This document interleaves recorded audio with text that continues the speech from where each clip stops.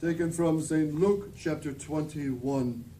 At that time, Jesus said to his disciples, There shall be signs in the sun and in the moon and in the stars, and upon the earth distress of nations, by reason of the confusion of the roaring of the sea and of the waves. Men withering away for fear and expectation of what shall come upon the whole world. For the powers of heaven shall be moved and then they shall see the Son of Man coming in a cloud with great power and majesty. But when these things begin to come to pass, look up and lift up your heads, because your redemption is at hand. And he spoke to them a similitude See the fig tree and all the trees. When they now shoot forth their fruit, you know that summer is nigh. So you also, when you shall see these things come to pass, know that the kingdom of God is at hand. Amen, I say to you, this generation shall not pass away till all things be fulfilled. Heaven and earth shall pass away, but my words shall not pass away. Thus are the words of the sacred scripture.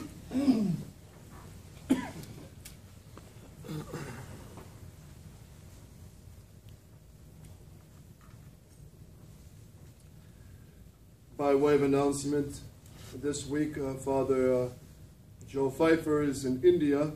He's on a meeting with the priests out in India, and they will also be venerating the incorrupt body of St. Francis Xavier that is carried in procession at this time. Uh, December 3rd is the feast of St. Francis Xavier.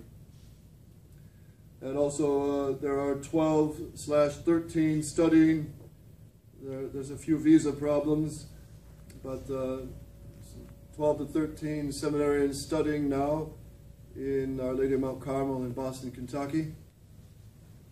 Do pray for them and um, pray for these uh, generous young men to come to test their vocation. And some will be brothers. We hope to have as well lay brothers. And down the road, uh, sisters, God willing sisters who will uh, revive the hospital work and teach catechism and uh, hours of adoration before the Blessed Sacrament. So do pray for all these intentions. And as you know, there's about 75, 80 priests on the line of the resistance throughout the world. And uh, many of them are supportive but not acting but the ones that are acting are about 75 to 80 throughout the world, including Father Ringrose here in Virginia, and Father Ortiz is with him. And um, um, in the Canada, we have Father Patrick Girouard, who uh, a lot of the priests, because of health, because of whatever reasons, they they're not traveling. They just stay in one place and take care of their flock. Especially in Europe, they do this. But um, we just want to continue what the Archbishop started, which was continue the, what the Catholic Church has always done, teaching the true doctrine, combating the errors of the time that go against the Catholic faith, and uh, sanctifying souls. And uh, many souls are crying out for the, the true Mass, and the true doctrine.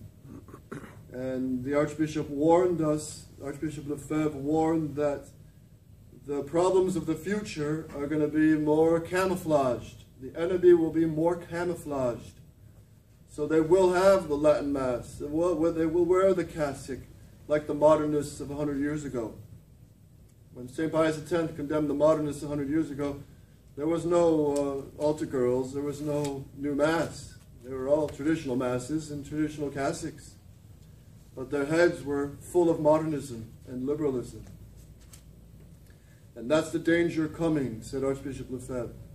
The Opus Dei type of liberalism, where you have all the externals, like the indult mass, like the, the um, uh, masses of St. Peter's and the masses of uh, Good Shepherd Institute in France and Campos in Brazil, all the externals are there, but the acceptance of Vatican II modernism, the acceptance of the new Mass in principle.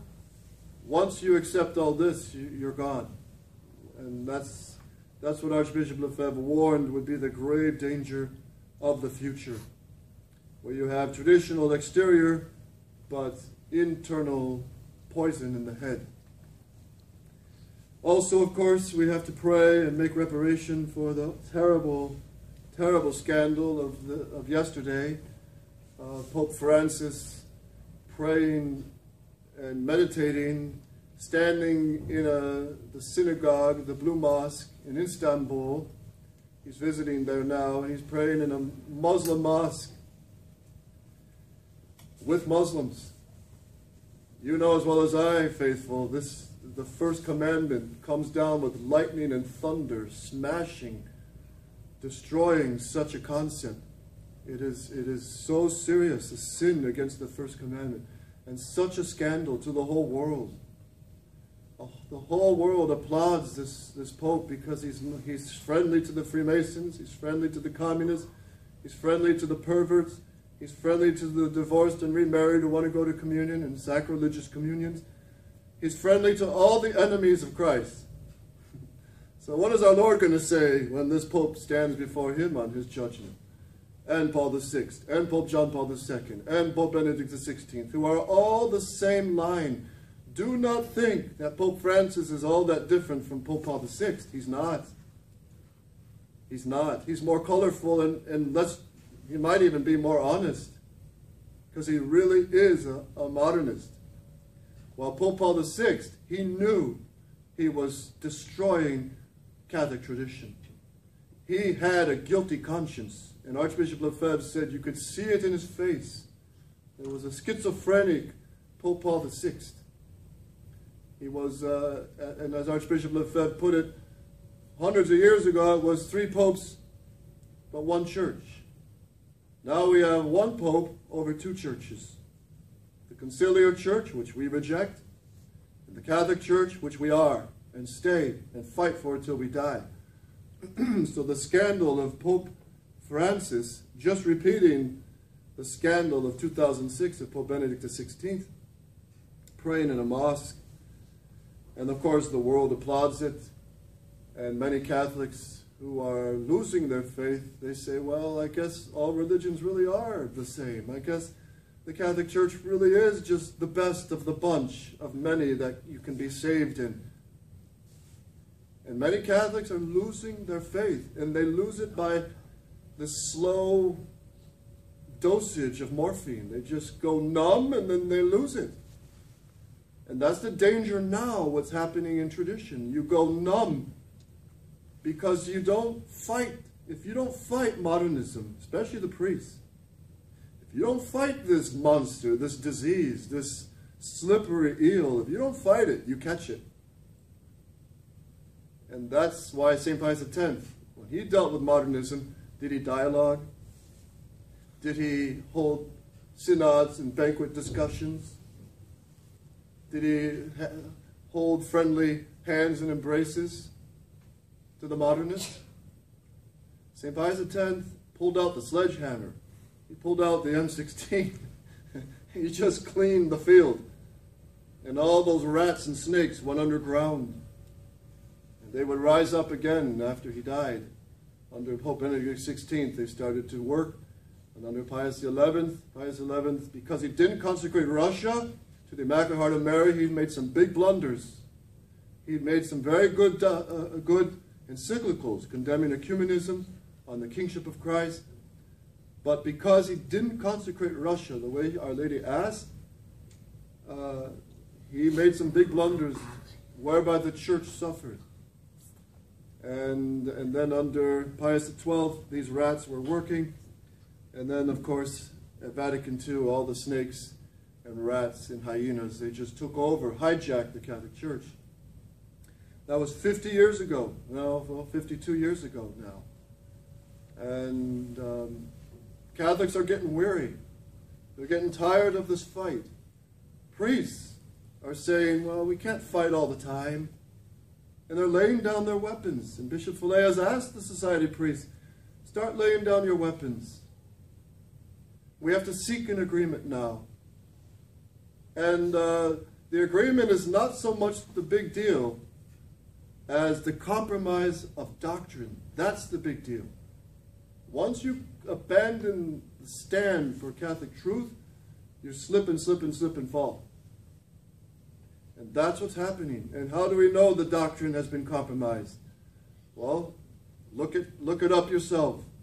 And uh, the Recusant has just put out a booklet, Greg Taylor put out a booklet, just showing the cold facts.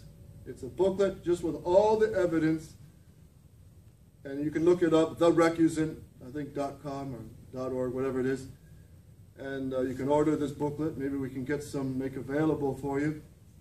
It's not that expensive. I don't even know if he's asking a price for it. But it's just the cold, boring documents. And read them yourself. The general chapter statement, the six conditions for an agreement with Rome, whereby the society bound itself. The general chapter, uh, um, the, the, the letter of the three bishops to Bishop Fellay, warning him, don't go in this direction. And now he's got three bishops with him going in that direction. And then uh, the April 15th Doctrinal Declaration, a terrible modernist document. A terrible document. That's the one that accepts Vatican II in the light of tradition, that accepts religious liberty as workable, accepts the new Mass as legitimate, very grave. Because the Archbishop always condemned it as illegitimate, the new Mass, poisonous. And then um, and then uh, all the interviews of CNS, Dici, and the continual doublespeak that has been going on ever since. For example, uh, I have heard seminarians themselves in Winona say, I talked to Bishop Fellay, and he told me, this happened uh, a year and a half ago, he told me there's no more discussions with Rome, it's over. And then Monsignor Pozzo, in an interview two weeks ago, what does he say? He says, Oh, well, we've been meeting with Bishop Fellay all along, many times. So this doublespeak is, is not of our Lord. It's not of our Lord who spoke openly.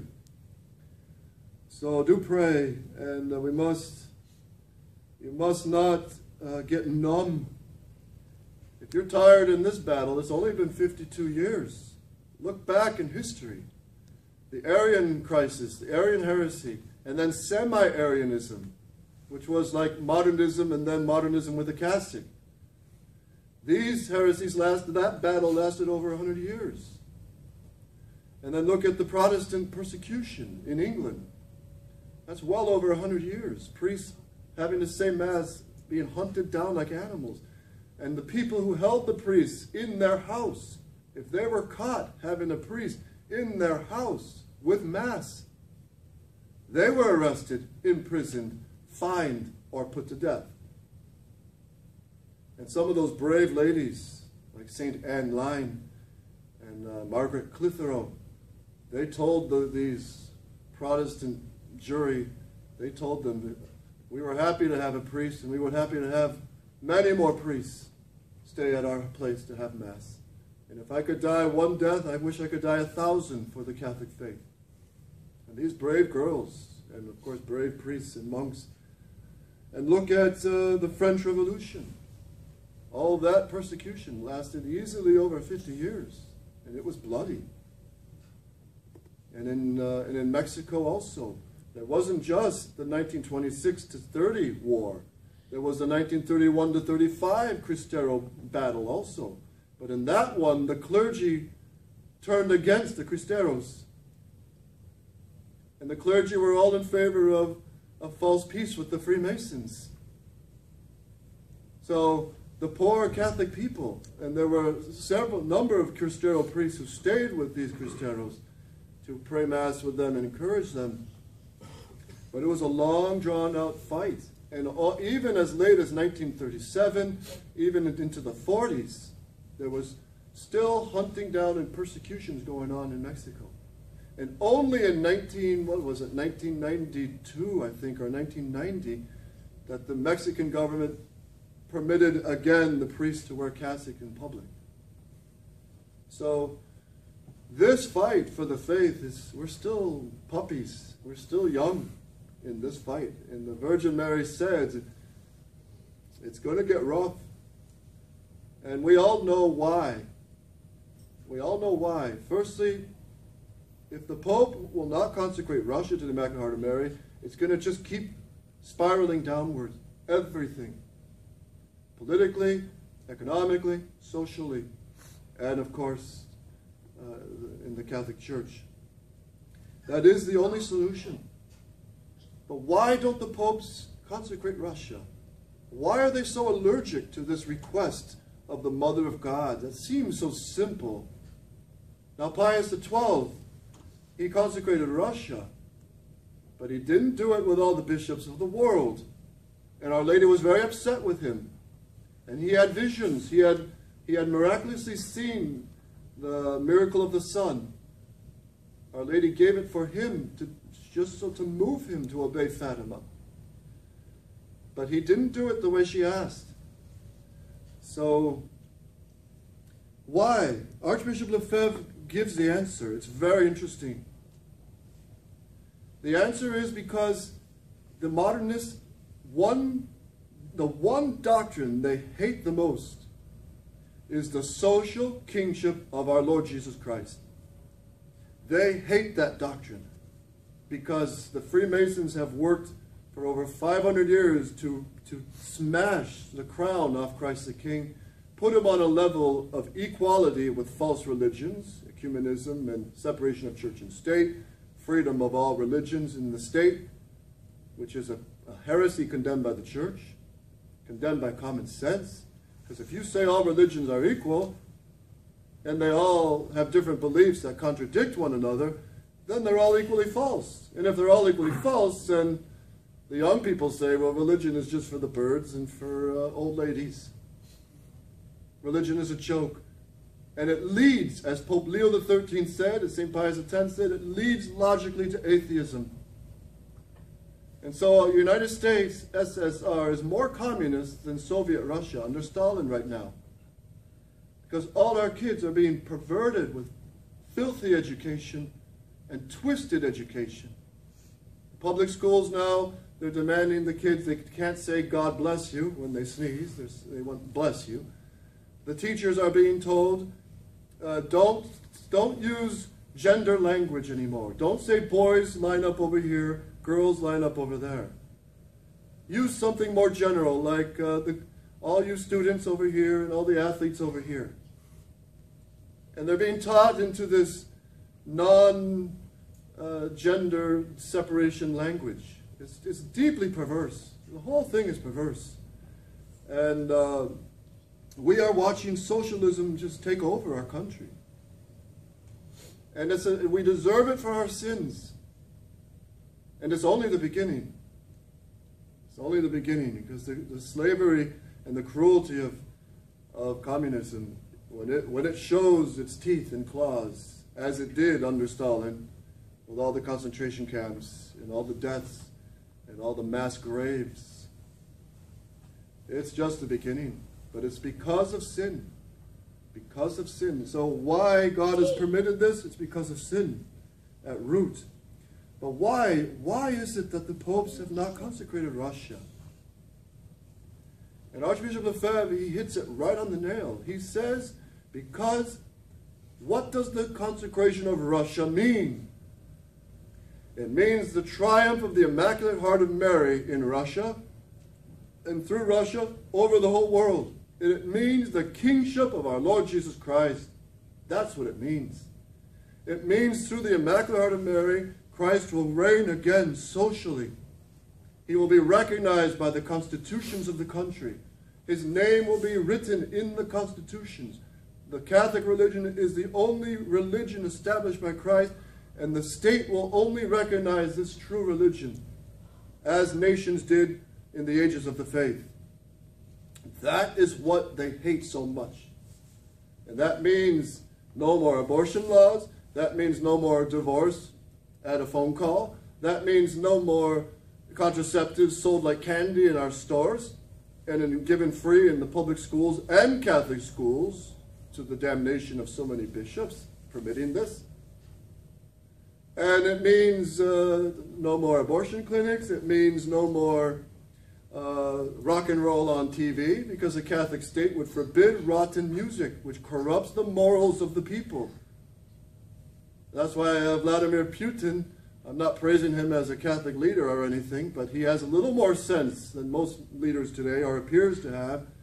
And he recently said about the United States, Obama is making this country a sewage, septic tank. But it's not Obama, it's the people who want it. The people want vice. They want to live in sin.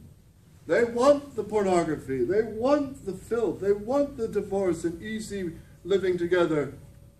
And that's why God is permitting such a punishment. It's going to be a heavy punishment to pay. So the kingship of Christ is at the root of this. And if the Pope consecrates Russia the way Our Lady did it, it'll be totally politically incorrect. and it will be the miraculous conversion of Russia and the whole world back to the social kingship of our Lord Jesus Christ.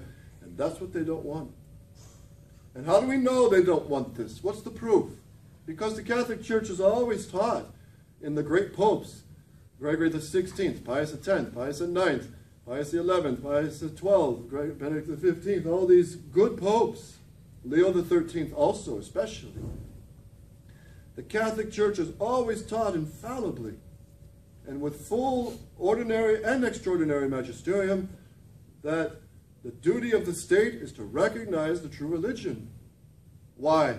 Because Caesar must render to God the things that are God's as well. Render to God the things that are God's, render to Caesar the things that are Caesar's. But Caesar has a job too. Caesar was created by God. The state is a creation from God. So the state has the duty to recognize the true God and the true faith. Because Caesar, that is all the presidents and kings and leaders of countries, they will also be judged by our Lord Jesus Christ. So the Catholic Church has always taught this. And we American Catholics, we have been poisoned by 200 years of, of liberal Catholicism. That's why the 50s, although it had many good externals, it was wrong that the bishops did not rally the people to work for a social kingship of Jesus Christ, to work for a Catholic state. Oh, that's an impossible dream. No, it's not. And if Catholics were instructed and taught that they must work for this, they must study why, study the encyclicals of the great popes, study the teaching of the church, Know your catechism and look at the lives of the martyrs who died for the kingship of Christ. And the, we Americans, we've been poisoned with this liberalism for 200 years. The clergy were totally infected. And it was this religious liberty, this idea of the pluralist society that all religions can work together and the Catholicism will automatically flourish in such a system, that heresy triumphed at Vatican II. And Vatican II, as you know well, attacks Jesus Christ as God and attacks especially his kingship. The document on religious liberty and ecumenism and collegiality smash the kingship of our Lord Jesus Christ. That's why it's so serious. It's an attack against our Lord Jesus Christ. And that's what the fight of the faith is all about to stand up to defend the honor and the kingship and the divinity of our Lord Jesus Christ and his Roman Catholic Church of all time. So Vatican II, they, they all, it, was, it was a direct assault on our Lord's kingship. And all the liberals said, oh great, we're, we're modern now, we're modern democracy, we're, modern demo, we're in modern democracy times, and uh, the kingship of Christ, that's for the old days, that's for the Middle Ages. And we have to be realistic, we have to be friendly to the modern world, and so forth. But what kind of friendliness to the modern world is the Pope praying in the mosque? Praying with Jews, Muslims, Protestants, praising Martin Luther like Benedict XVI, holding Martin Luther up as a model for all Christians to follow. What's the result of this false doctrine? We will see it We're going to see the fruits of this false doctrine on the day of judgment. All the souls who have gone to hell because of the scandals of these popes, and the scandal of Vatican II, and the scandal of the bishops being silent and not preaching out against Vatican II. Where were they all 52 years ago? And all the priests, they all knew their Thomism, they all knew their catechism. Why were not more of them rising up to speak out against it? And you know what it is? It's called the duct tape. And the duct tape has a big word on it obedience. Satan's masterstroke was to sow disobedience to all tradition through a false obedience, Archbishop Lefebvre. And he said that. He said many times it's a sin to obey sinful orders.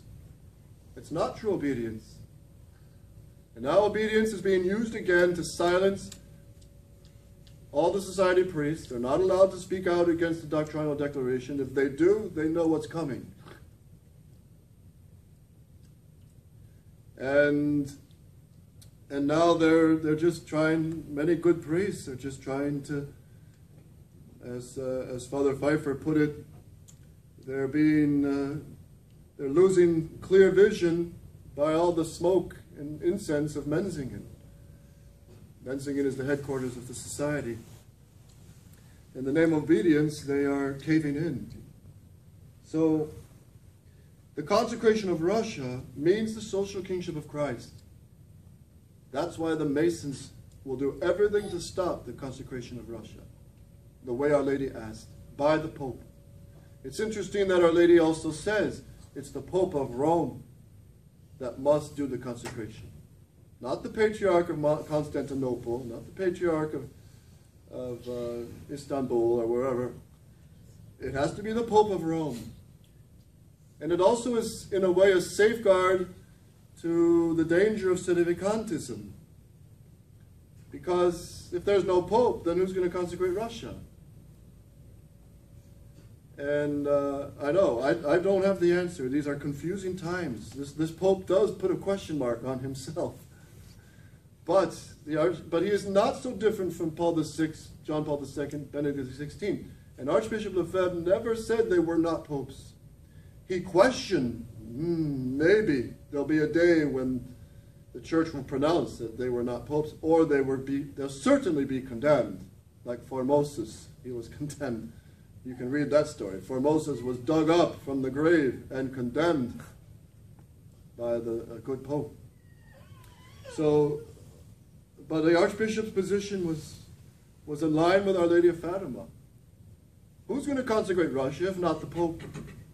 How can the pope do it if he's not the pope? So all tells us that this Pope, Pope Francis, is the Pope, and it will be the Pope that must consecrate Russia.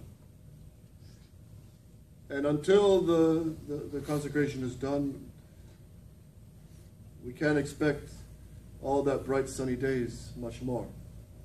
And, and God has put us in this time to be children of the Virgin Mother, children of His Immaculate Mother, children to fight under her banner and this is our honor in these days to rally around the Immaculate Heart of Mary.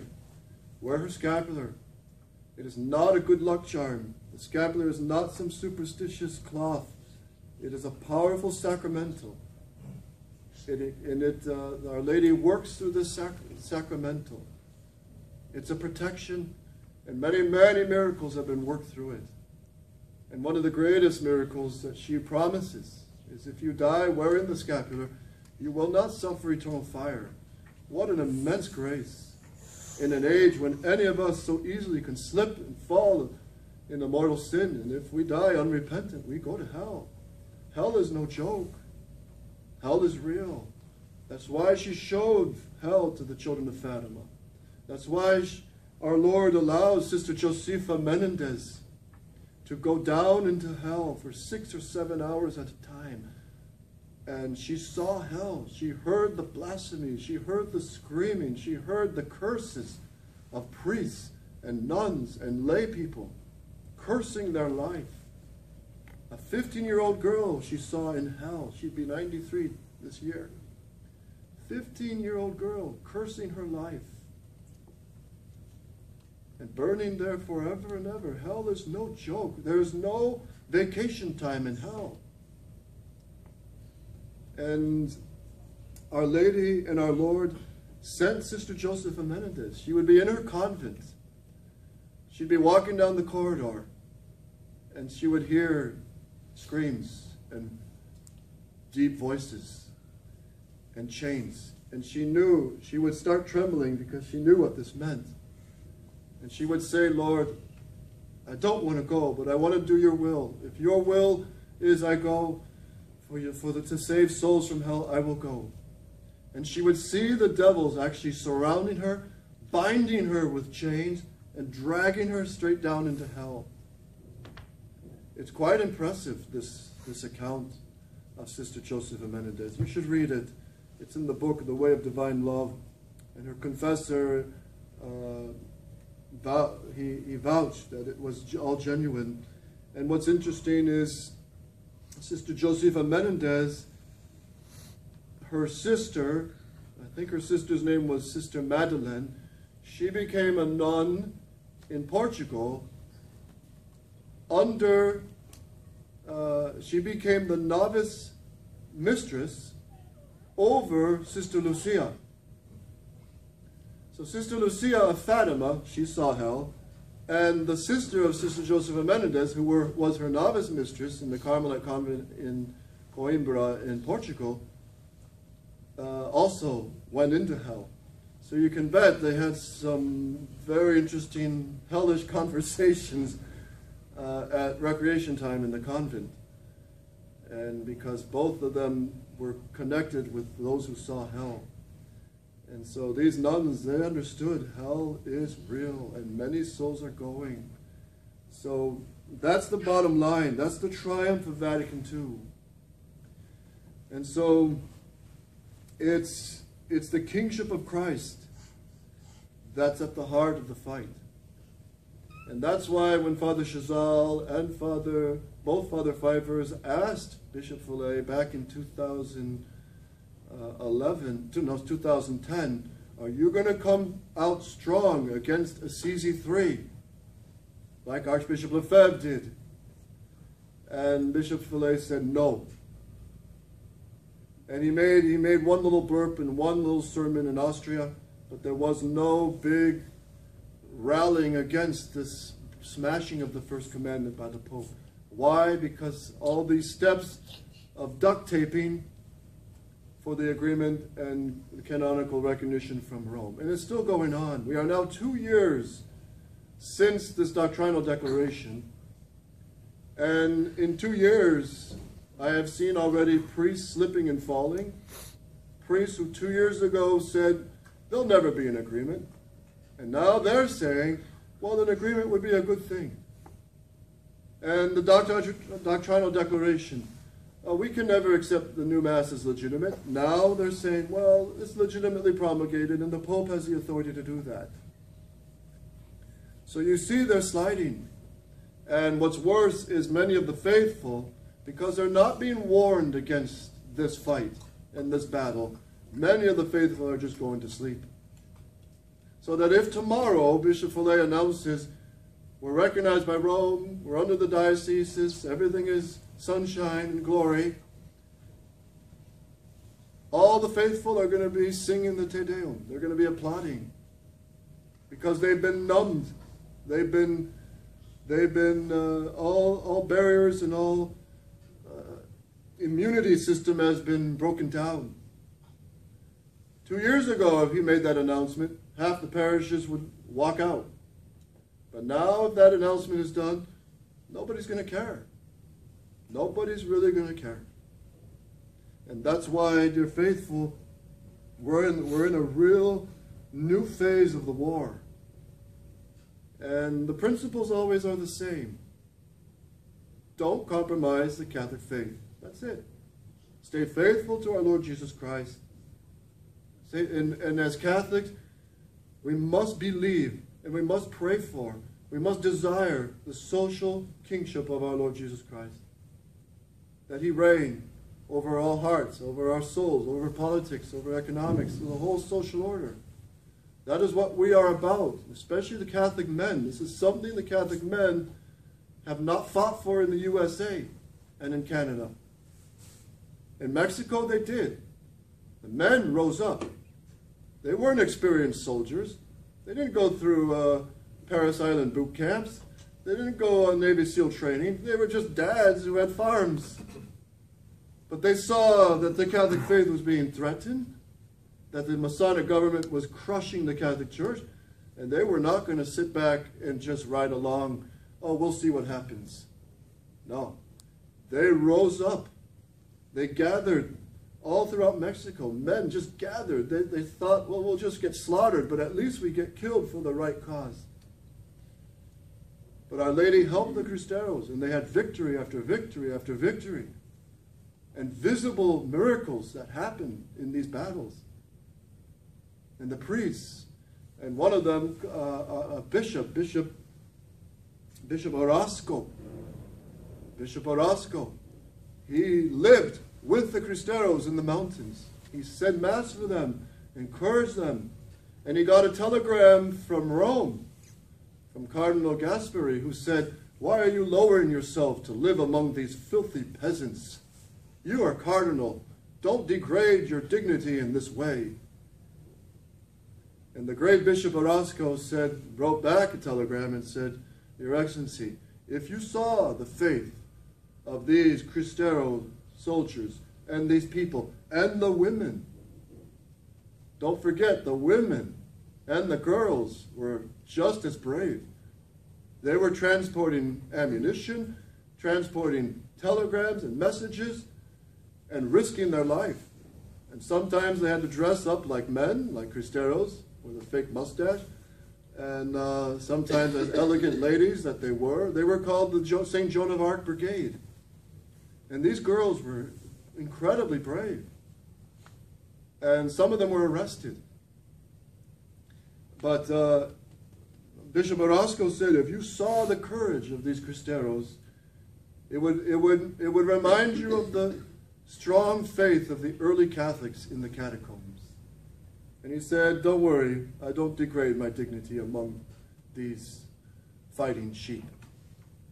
And so, uh, so the men fought. They understood the reign of Christ the King and how many went to death shouting, Viva Cristo Rey, long live Christ the King, being shot.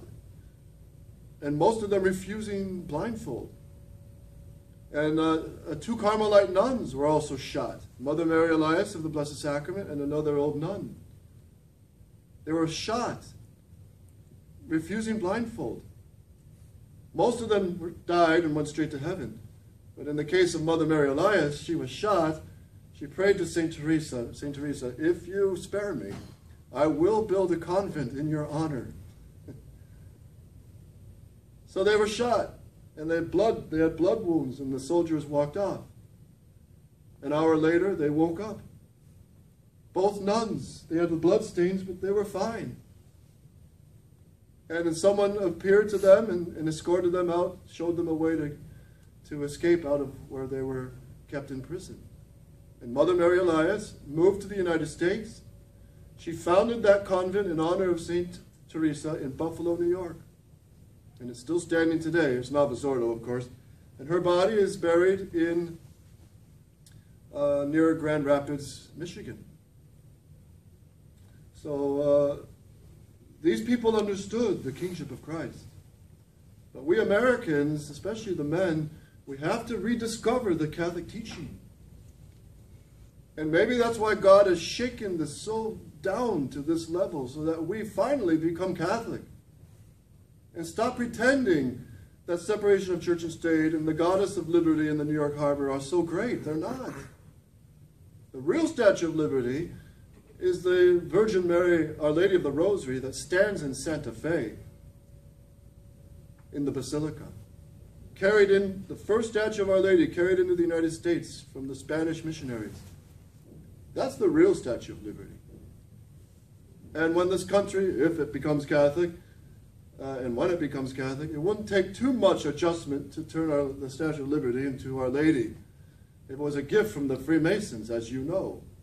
because they were all working together. The Ben Franklins and the Thomas Jeffersons were working with the uh, beheading, decapitating revolutionaries of the Freemasons in France. They were all buddies and all working for the same goal, which was the dethroning of Christ the King, the burial of Christ the King. So we Catholics, we got to convert again. And that's what Archbishop Lefebvre was about. He was not about, oh, let's make an agreement with Rome and experiment with tradition. He was not about being fluffy and cotton candy with the modernists. He was anything but. And that's why Bishop Williamson says many of the liberal SSPX priests now, they followed Archbishop Lefebvre because they saw this gentle dove, as he puts it. He was very kind and very gentle, and he was, he was a saint, there's no doubt. But there was a side to Archbishop Lefebvre that when he had to fight for the faith, the iron fist came out. The boxer came out. The, the Balboa of Catholicism, of tradition, pulled up, put on his boxing gloves. When he had to fight, he fought.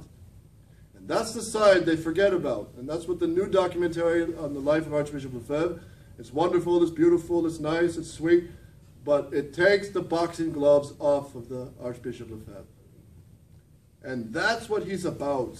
The, the reign of Christ the King. He spoke about it, preached about it, lived it. It was in his heart. And that's why he opposed popes. That's why he opposed Vatican II and all the bishops. That's why he opposed the whole world. Because of the kingship of Christ. And if you want to read a good nutshell of, of what he really says and thinks, they have uncrowned him. They have uncrowned him. It's, it's pretty heavy whiskey.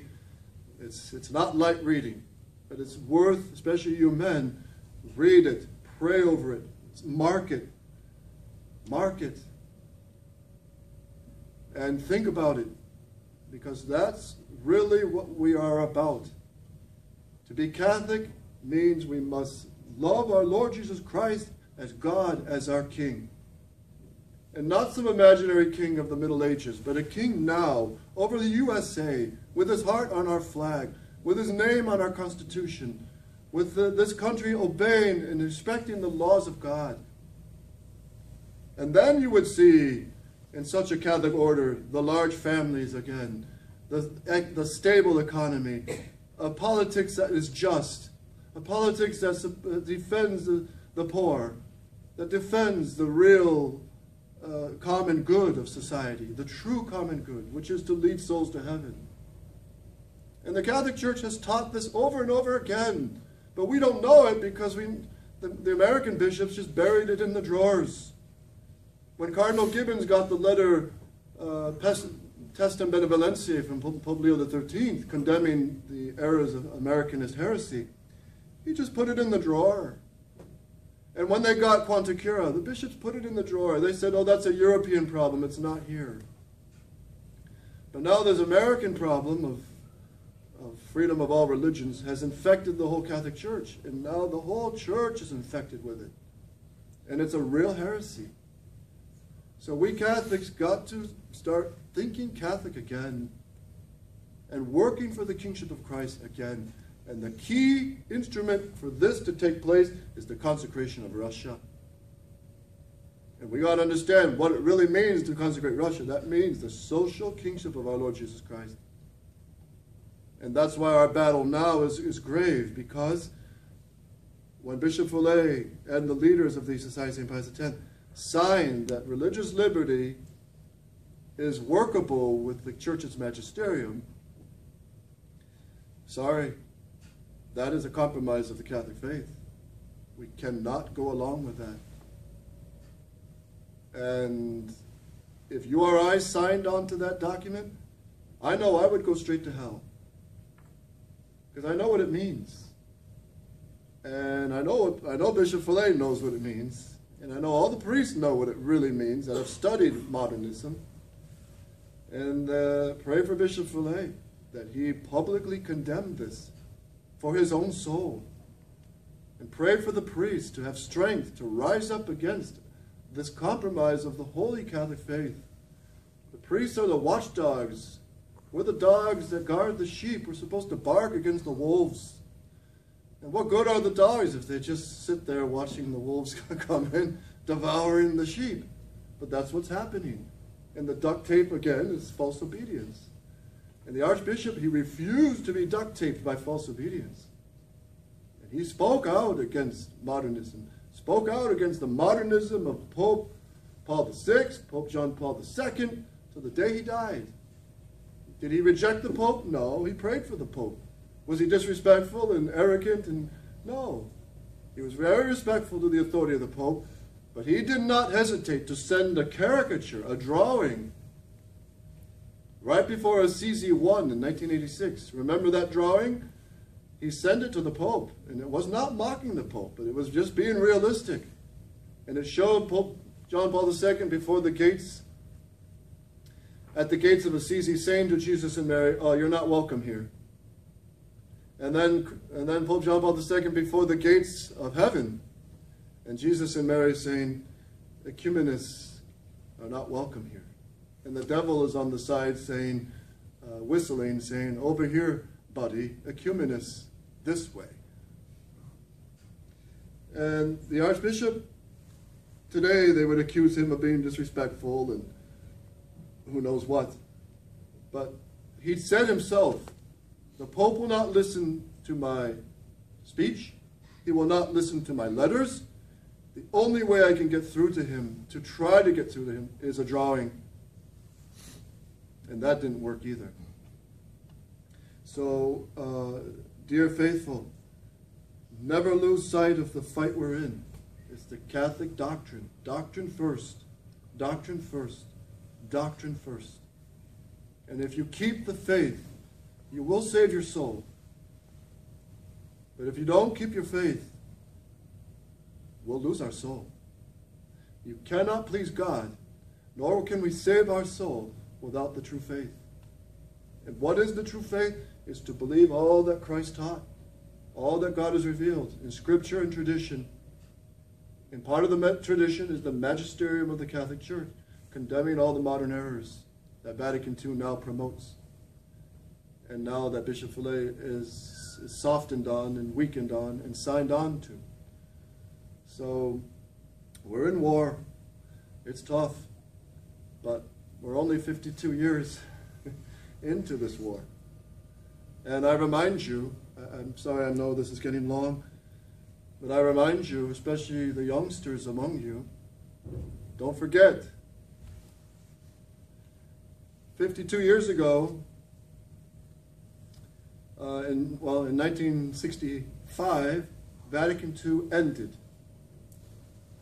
And then 45 years ago today, November 30th, 1969, some of you will remember this. November 30th, 1969, everybody went to Sunday Mass, expecting, you know, the regular, normal, traditional Latin Mass. Oh, hum, how boring, and let's get out of here. We got golf games to get to, and normal Catholic life. But it wasn't normal that Sunday. They walked in and they began the Mass. Good morning, ladies and gentlemen. Welcome to the Mass of Paul VI. The Lord be with you. And then the offering of the gifts, the dropping of the offertory, Mass facing the people, and uh, and all the other, the whole the whole intrinsically evil Novus Ordo Mass. And where were all the people to rise up and say, this is not Catholic, we're getting out of here. Let's go storm the bishop and drag him out in the town square and challenge him. Is that what happened? No. It was all obedience, obedience, obedience. And Pope Paul VI, Pope Paul VI, the Pope of Rome, he sealed this direction when he said these words, speaking about that Sunday, first Sunday of Advent, 1969. The first reason is not simply canonical, relating to an external precept. It is connected with the charism of the liturgical act. This is Paul VI. In other words, this new Mass is linked with the power and efficacy of the Church's prayer, the most authoritative utterance of which comes from the bishops This is also true of priests who help the bishop in his ministry and, like him, acts in the person of Christ. It is Christ's will, it is the breath of the Holy Spirit.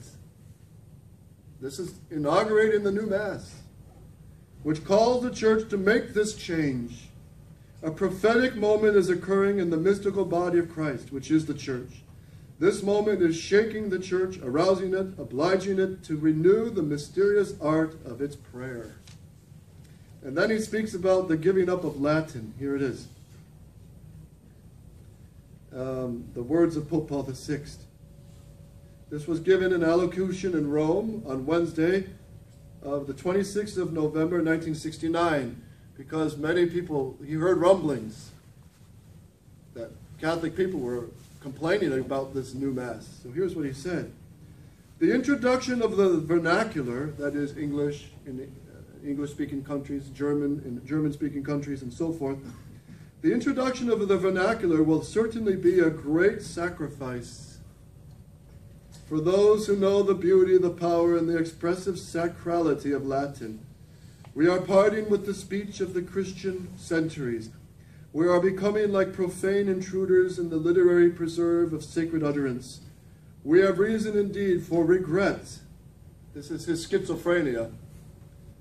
We have reason for regret, for almost, almost for bewilderment. What can we put in the place of that language of the angels? We are giving up something of priceless worth. So the Pope Paul VI, in his so many words, crowned the abandoning of the Tridentine Mass and the promotion of Vatican II. And this Pope would say traditional things and he would say modernist things. He would say traditional doctrine and throw in modernist doctrine. And that's why I dare to say this has been the behavior of the Superior General of the Society. He's behaving like this. One side of his mouth says, I don't like the new Mass. The other side of the mouth, he says, well, Archbishop Lefebvre would have not taken the steps he did if he saw this new Mass in Latin, in Gregorian chant, in full vestments. And uh, Bishop Fellay will say Vatican II is bad, I don't accept it.